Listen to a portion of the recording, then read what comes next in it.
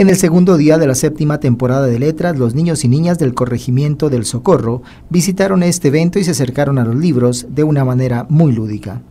De igual manera hemos venido adelantando gestiones junto con la Secretaría de Gobierno y la Secretaría de Tránsito para contar con la presencia de niños del sector rural, de corregimientos tan distantes como el Socorro, para que disfruten precisamente de todos los talleres que tienen que ver con la primera infancia, desde lo lúdico también fomentar la lectura.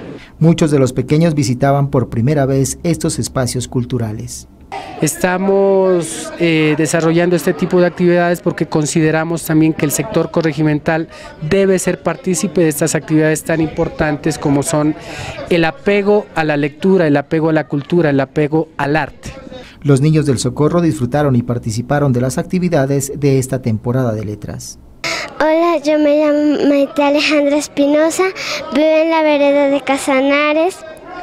Y yo creo que esta actividad me pareció muy bonita. Todos los estudiantes podemos aprender a leer, a escribir y a dibujar. Esta actividad me pareció muy bonita. Gracias.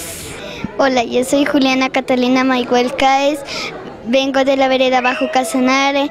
Esta, esta lectura me gustó mucho y, y, y quiero que les guste a todos mis compañeros de grado cuarto, quinto y tercero. Gracias.